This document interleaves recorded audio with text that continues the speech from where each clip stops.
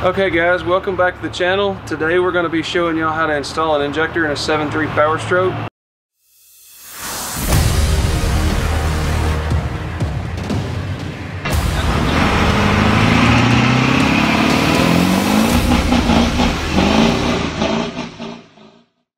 Um, I had this uh, old 96 uh, F250, or I'm sorry, F350 dually. F250 dually, anyway. Uh, F350 dually just kind of sitting around. We uh, we haven't been driving it in a while. I've been driving my white crew cab. Um, but uh, I lost some some, in, some injector O-rings in in my truck. and It's got bigger injectors in it, so we pulled those things out and sent them off. Um, it kind of made me think I probably should do a, an install video. So when we pulled this truck out of the weeds, we um, we decided to uh, to film the install of the replacing of this one injector. We kind of figured out I had a, an injector bad several months ago, and like everything else, put it on the back burner and don't do it. So, but today we're going to do it. We're going to show you how, how you do it. I got up here on top of the motor here so I can kind of, I don't know, give you a little more visual of, of what we're doing. Um, I kind of narrowed it down to it's either injector number seven or eight. Um, there, unfortunately, on these older motors, there's really no good way of telling exactly which injector it is without pulling the valve cover off, running the truck with the valve cover off, and actually manually unplugging the the number seven or, or, number eight injector because the way these plugs work is there's four plugs on these uh, uh, like 94 to 97 motors. The under valve cover harnesses have two plugs per uh, per harness, and uh, it represents. Say this is um, this is injector number one, and this is injector number three. This represents the plug for both of those. Uh, uh, vice versa with oh you know what? I said that wrong. I said seven and eight. How about that? Yeah you did. Yeah it's not seven and eight it's five and seven. What am I talking about here? Um so it's either five or seven here. I'm losing my mind I guess. I don't know. Either way um, so we're going to pull this valve cover off and we're going to fire the truck up and then we're going to manually unplug each injector and figure out which one doesn't make a difference in sound with the truck idling that injector obviously will uh, will be the problem um, you can also kind of tell by the oil output from the uh, oil return squirters. Uh, the problem injector will probably be putting out less oil than the rest of them at idle. Um, that will probably be pretty hard to see on camera.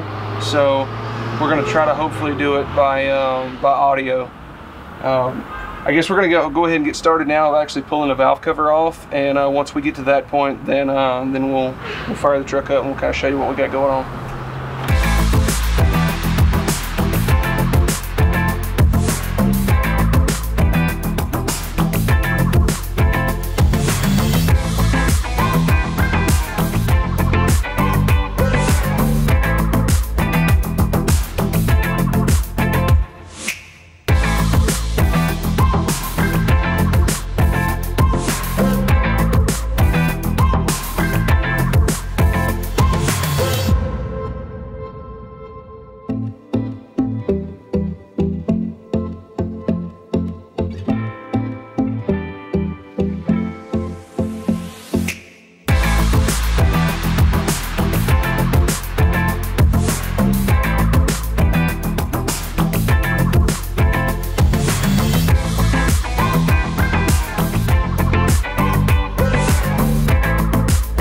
The uh, the 7.3 Power Stroke is is backwards from the conventional V8 as far as uh, odds on the passenger side, evens on the driver's side. So this is one, three, five, and seven.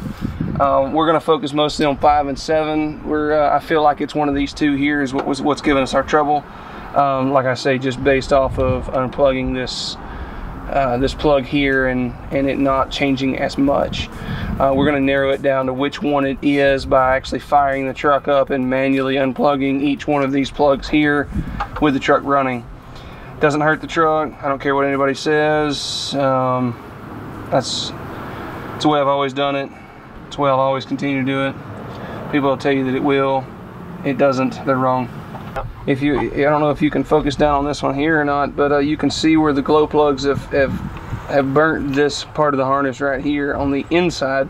Most of the time it's on the truck side of the plug kind of burns here. This one's actually burnt on the inside of the harness. This harness really should be replaced. Um, but if we don't have to, we're not going to, to, Just because it's a spare truck and we don't have to. So um, Anyway, and we might find that that's actually the uh, um, the problem. If that's the case, then we'll replace it, not an injector. Uh, we're fixing to find out. So, okay.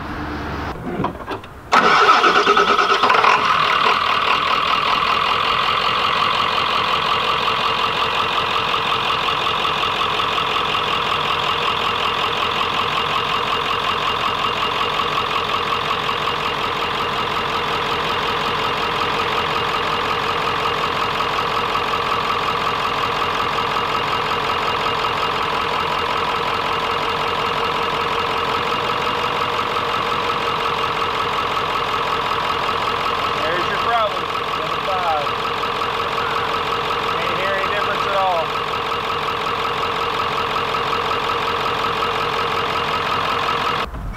Just kind of show you here. This is uh this glow plug is actually smoking currently after I cranked the truck and heated the glow plugs. I guess we know the glow plug relay is still working because it is definitely still melting that harness. We're uh we may wind up actually replacing this harness anyway just because you have to pull it out change the injectors so we're going to go ahead and test this and i guess we're going to go ahead and replace it anyway since it is bad you get a real good shot of that right there. She's done. She gone. 100000 mile harness. Well, you know, what were you going for? I was going for you to say something else, but doo-doo. there you go. thanks mom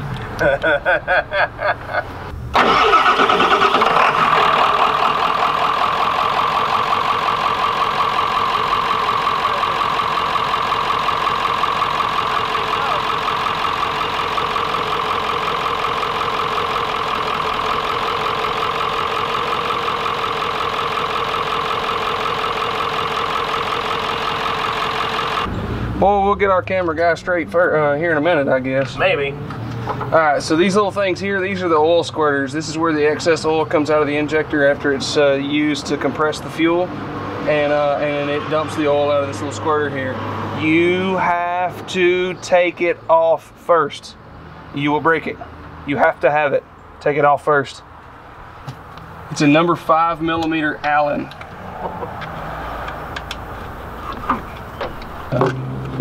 Powder coat them, five or six hundred dollars. I have fresh looking bumpers. Oh no. Oh, oh my. Well, that's not how you do it. Oh, my.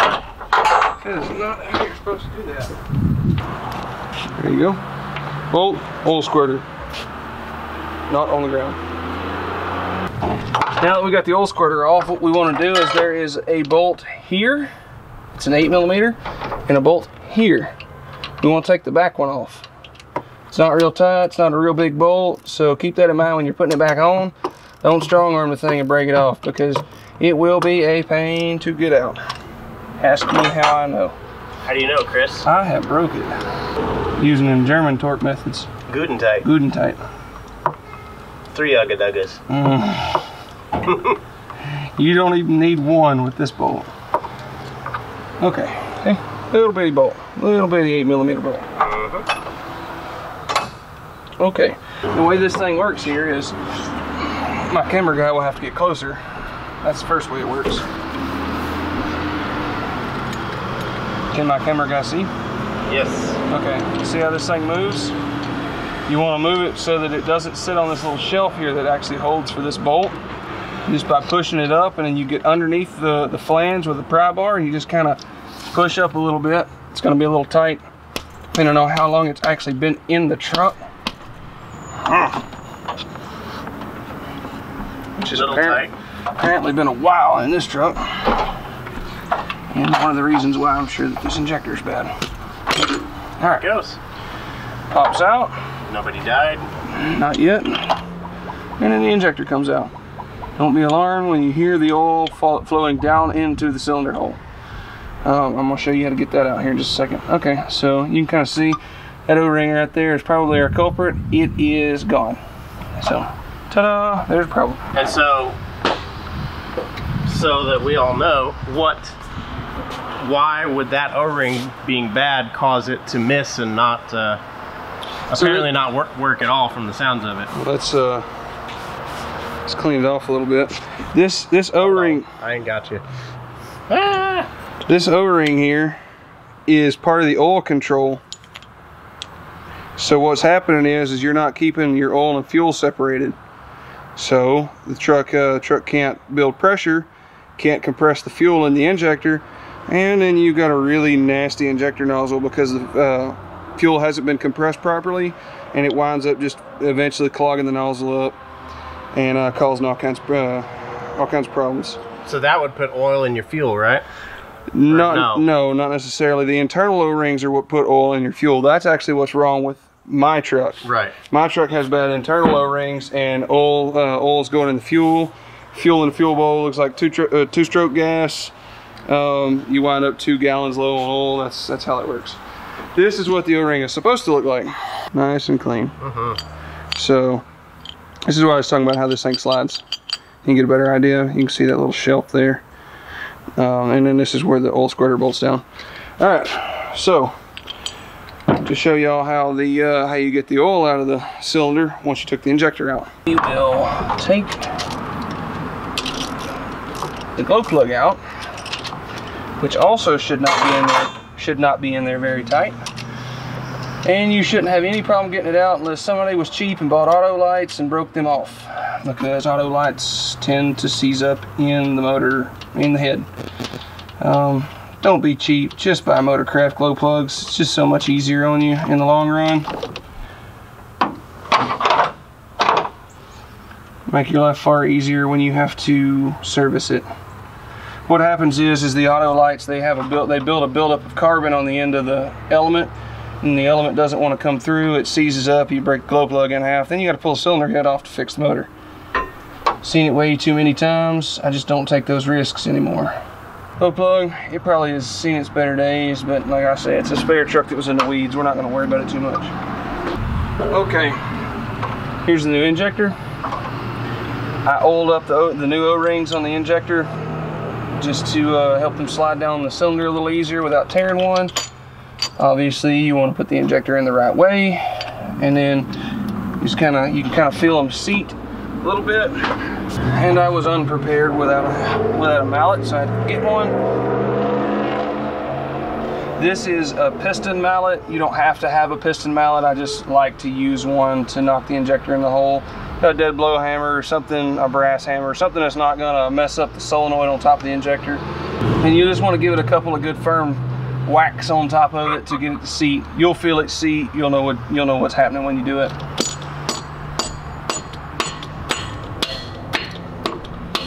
All right. So kind of when it stops jingling, you can kind of hear it change. Yeah. When you know it's seated. Yeah, you just kind of clicks into place. Uh, the hold down kind of falls around the bolt that you left in the motor. And, and then we're going to put the bolt back in and tighten this injector down and just set the valve cover back on top of it. And Then we're going to spin the motor over. And uh, what's going to happen is, is since we have the glow plug out, it's going to blow the oil that's in that cylinder out of the glow plug hole. Um, that's the reason why I put the valve cover back on it so that we don't wind up with oil all over the engine compartment. Uh, we're trying to contain the mess.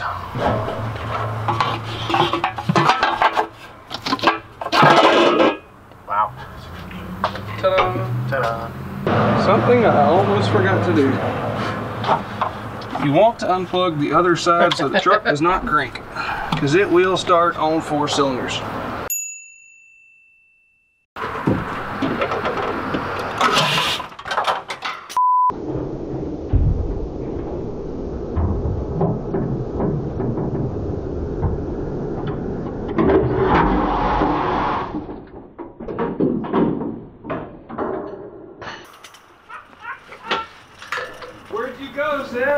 Dude. Oh shit! Dude. Damn! What the heck, man? what the heck, man? I have never had it do that before. Holy cow. Dude! Look at all my bag! Dude! Oh, at this point, there's nothing you can do but laugh about it. Oh my That's fucking terrible. gosh! Okay, so now that we've learned what not to do, um, and Yeah, thanks. I didn't need the oil bath. yeah, well, um, the one step that I fatally forgot to do was put the bolts in the valve cover when you when you put it back on to blow the oil out of the out of the uh, glow plug hole because it comes out with a vengeance. Um, yeah. Did we see what it did to everything else? I mean, You gonna get a picture of my my uh, junk cart there? Is that what you're doing? no, I was trying to get the truck. It's a little bright, but you get the idea. There's, Yeah, it's uh. I- look at this. This is with a valve cover on it. yeah, Look at that. it was on it for a second or two. Terrible, terrible. Not gonna lie, I haven't laughed that hard in a while.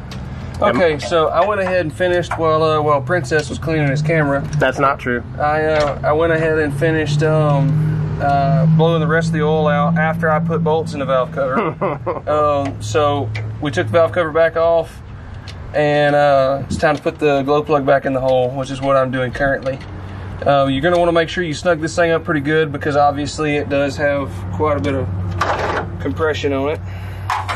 Just a little.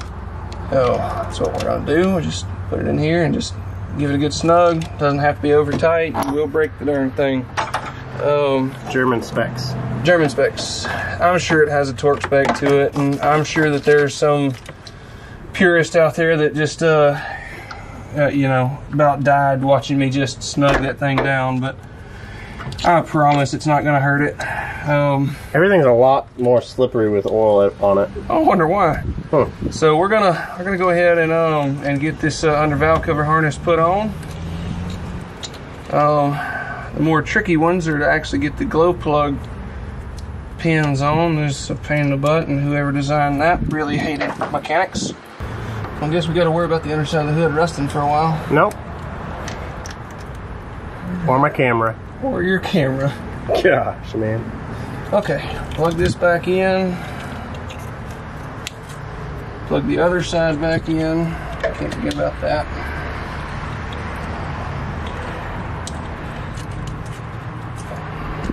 This one's always in an awkward spot.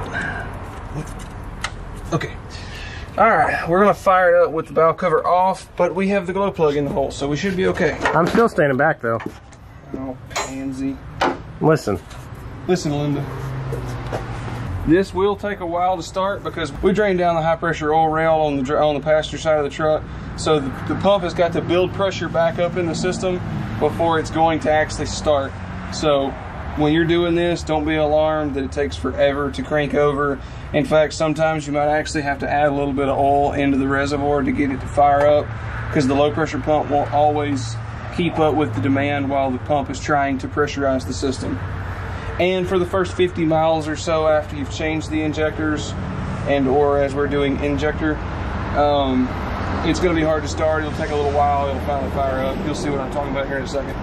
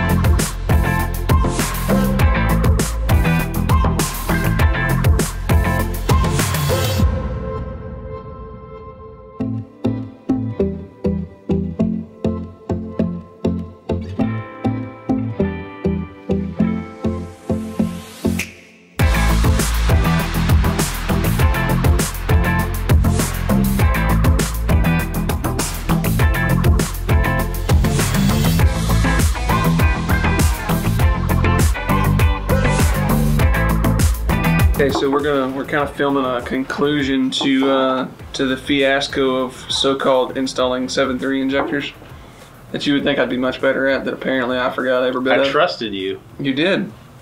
That's what you get for trusting people. You notice the very first thing you said after that happened was just pure laughter. Not, hey, are you okay? Oh, it was fantastic. It's the funniest thing ever. Totally made my week. Good.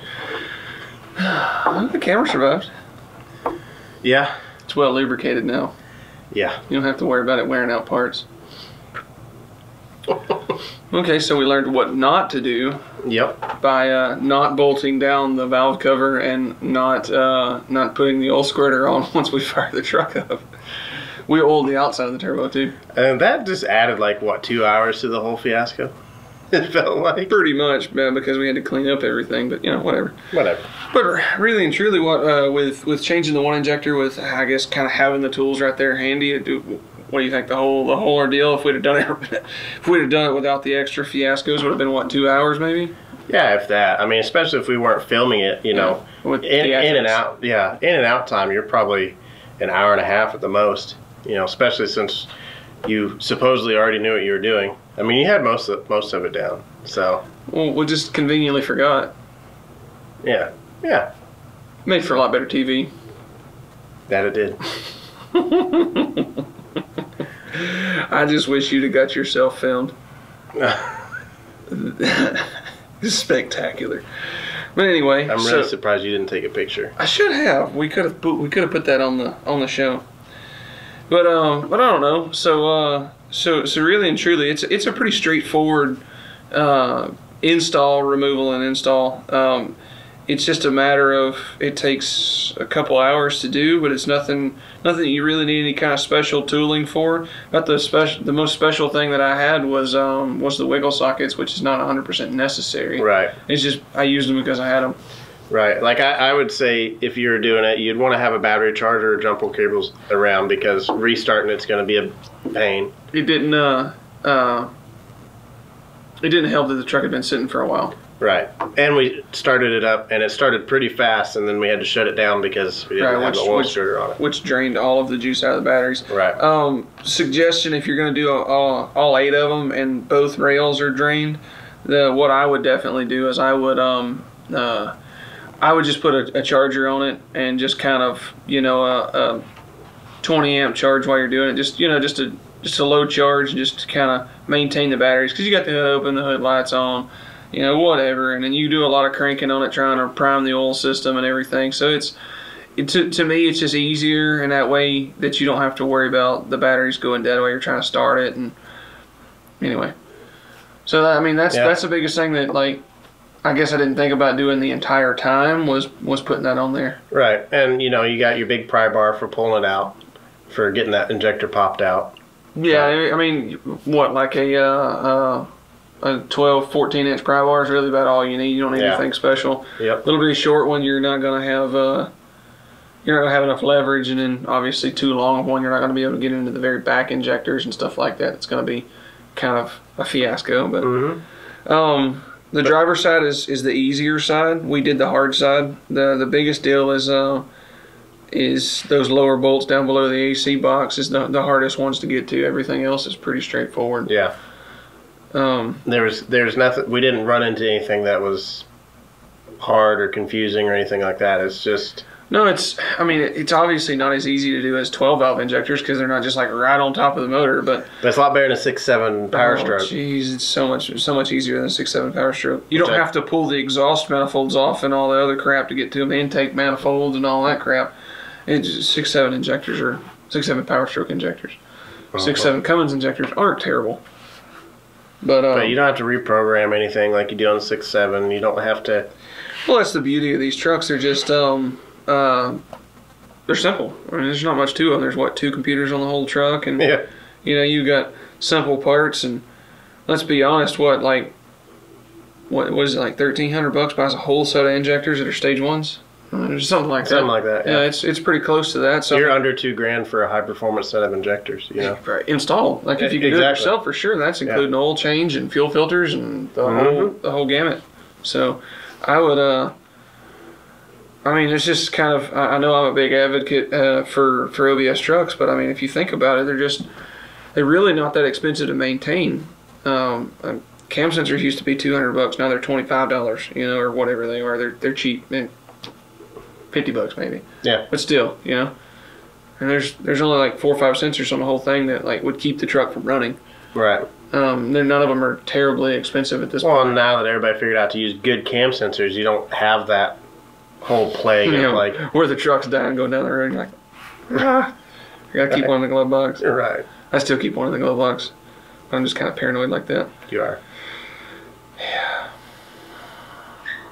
So, Don't buy cheap parts. Yeah. Kids don't buy cheap parts.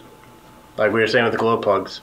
Yeah, don't buy. I mean, just don't don't buy the cheapest thing you can buy because it's going to come back to bite you in the butt, and then you're gonna have to do it again and again and again. You're gonna get mad, and you're gonna go try to buy a new truck, and you're gonna pay a thousand dollar a month truck note, and you know it just doesn't make sense, right? Uh-huh. So just buy quality stuff. You have a quality truck, you know.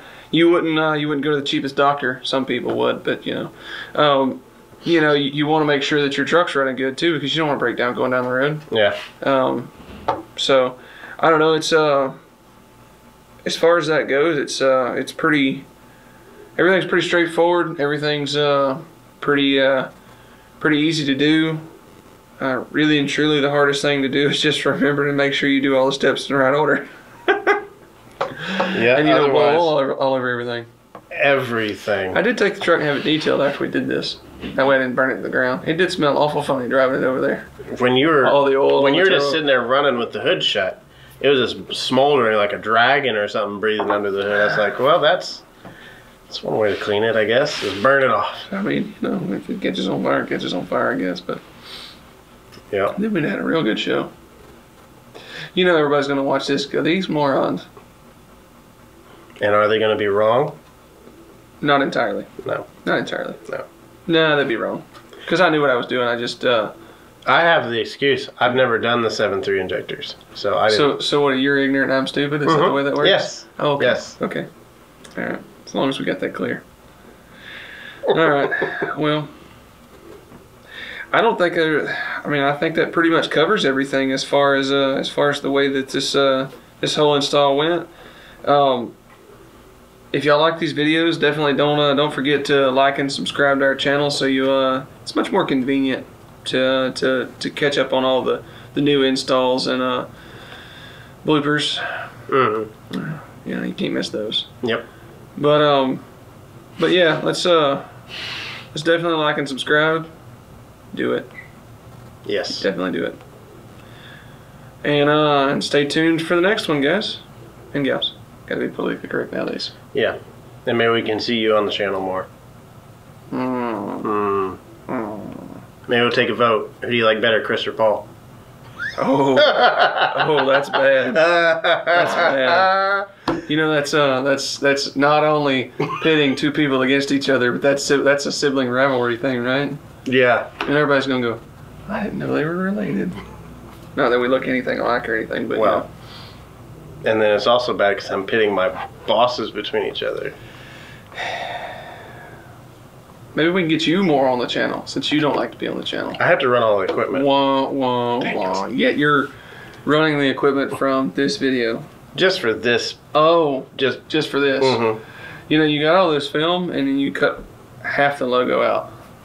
Well, you realize if I had the whole logo in there, you would be like this tall. It'd be like 20 foot above your head Hmm. of emptiness. I'm just hoping you got close enough to see all those wrinkles you put in it. You know what? Try to do something nice. this one doesn't have wrinkles in it. It's also this big on a totally flat surface. Oh. do you see the now bump? we're Do you see the bumps in excuses. the wall? Now we're making. Do you see the excuses. bumps in the wall? Mm-mm. You, you don't see those bumps. The wall's smooth. That's a lie. Can y'all? Yes, they can probably see it. It's 4K. I'm sure they can probably see the bumps. They're looking at it on a phone screen. Nobody uses a computer. I do. You're weird though. That's not what we're talking about It's right not unwrong though. I quit.